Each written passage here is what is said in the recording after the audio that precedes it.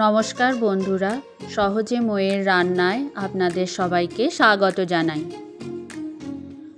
বাঙালি, অবাঙালি বিভিন্ন ধরনের রান্নার স্বাদ পেতে আমার চ্যানেলটিতে সাবস্ক্রাইব করুন।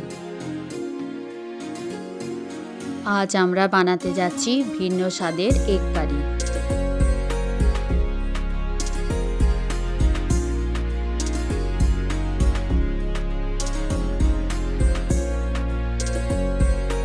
এগ কারিটি বানানোর জন্য কতগুলো ডিমকে আমি জলের মধ্যে প্রথমে সেদ্ধ করে নিচ্ছি।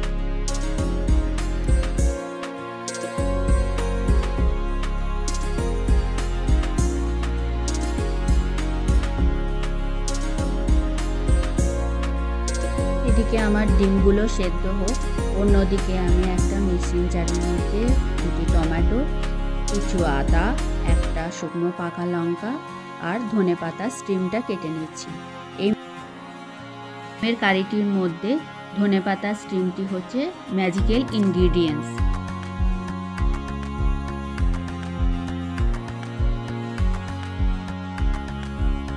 অন্যদিকে আমি রসুনগুলোকে এইভাবে একটু হাতের সাহায্যে থেতো করে নিয়ে কুচি করে কেটে রাখলাম এবং পেঁয়াজগুলোকেও কেটে নিলাম।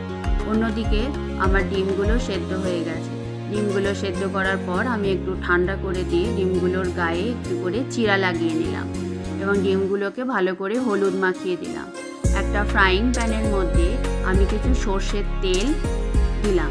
সর্ষের তেলটা আমার গরম হয়ে গেছে। এবার ডিমগুলোকে ছেড়ে দিলাম সর্ষের তেলের মধ্যে।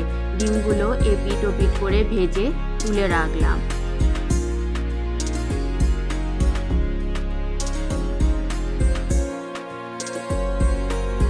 ওই সর্ষের তেলের মধ্যে এক চামচ জিরে, শুকনো লঙ্কা দিলাম। দিয়ে রসুনগুলোকে একটু প্রথমে দিয়ে ভাজা ভাজা করে নিলাম। রসুনগুলো একটু ভাজার পর পেঁয়াজগুলো ভাজতে লাগলাম। পেঁয়াজের রং চেঞ্জ হয়ে যাওয়ার পর পেঁয়াজগুলির মধ্যে আমি হলুদ দিলাম। তারপরে লঙ্কা গুঁড়িও অ্যাড করে দিলাম। প্রথমে এইগুলোকে ভালো করে মিশিয়ে নিলাম।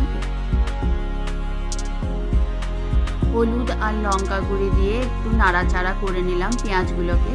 তার মধ্যে আগে থেকে বেটে রাখা যে মশলাটি ছিল, টমেটো পেস্ট, সেইটাকে দিলাম, দিয়ে নাড়তে লাগলাম। একটু নেড়ার পরে আমি এটা কভার করে রাখলাম টু টু, থ্রি মিনিটসের জন্য।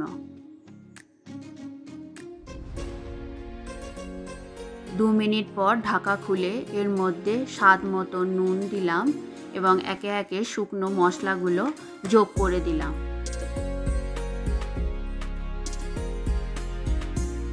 ছোট চামচের এক চামচ ধনে গুঁড়ি, এক চামচ জিরে গুঁড়ি, এটার মধ্যে মিক্সড করে দিলাম। ছোট চামচের এক চামচ গরম মশলা এটার মধ্যে দিলাম।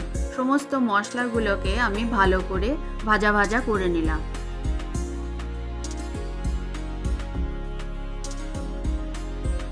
দেখুন সাইড থেকে মশলার তেল ছেড়ে দিয়েছে।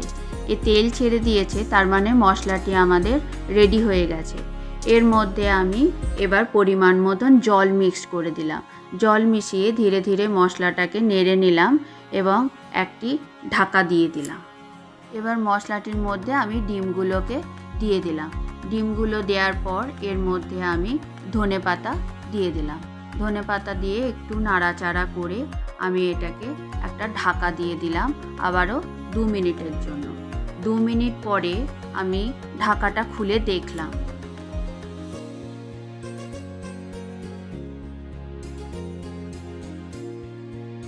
দু মিনিট হয়ে গেছে, একদম রেডি হয়ে গেছে। ঢাকাটা খুলে দেখুন দেখুন একদম ডিমের কারি রেডি হয়ে গেছে।